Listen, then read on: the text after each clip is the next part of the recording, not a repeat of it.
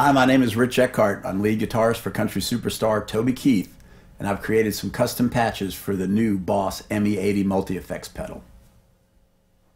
Before we get started, I'd like to tell you that the ME80 was the most user-friendly multi-effects pedal that I've used in a long time. It comes equipped with a fantastic arsenal of ready-made sounds. I plugged in, auditioned it for a bit, and within minutes I was editing sounds and storing my patches. I'm going to be using an amp for this demo, but you can play live or record the ME80 direct out of the pedal. Here's a patch I created for just basic rock rhythm.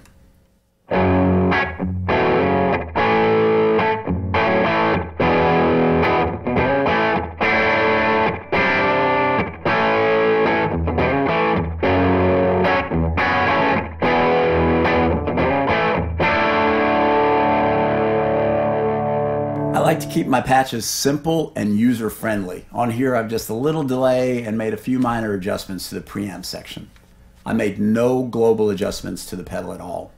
Here's another more classic country patch I created.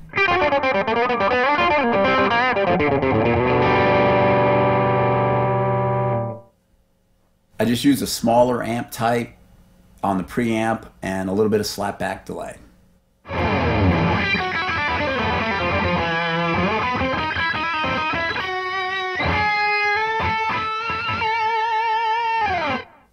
This is a little bit more of a fun patch. Uh, it's a Prince-like octave setting that I created uh, utilizing more of the ME80's effects than on most of my settings.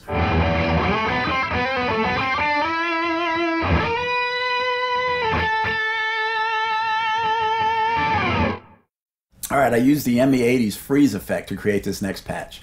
I assigned the pedal effects to control the freeze effect.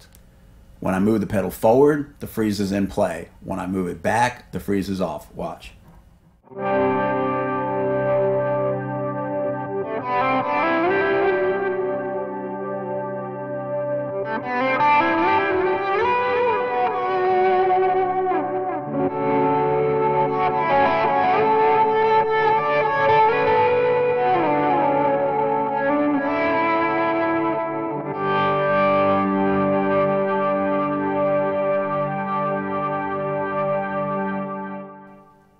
You can hear short samples of my ME80 custom patches on the Boss website. Thanks for watching and keep jamming.